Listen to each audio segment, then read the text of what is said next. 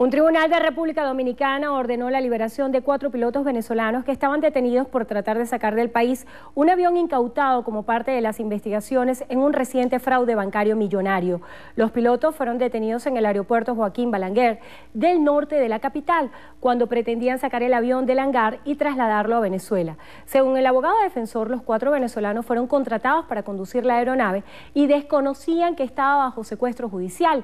El avión está incautado como de las investigaciones sobre el reciente fraude millonario a través del desaparecido Banco Peravia, dirigido por ejecutivos venezolanos.